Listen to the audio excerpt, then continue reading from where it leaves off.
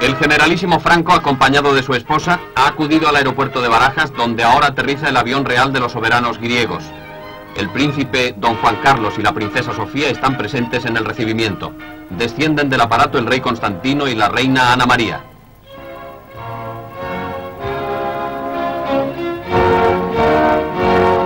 El soberano de Grecia saluda al jefe del Estado español.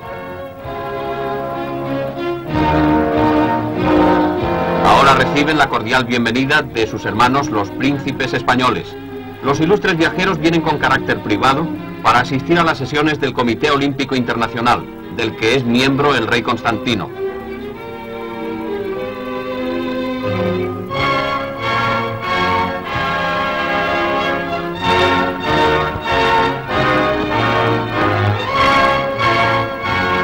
Sus excelencias despiden a los soberanos que se hospedarán en el Palacio de la Zarzuela de Madrid,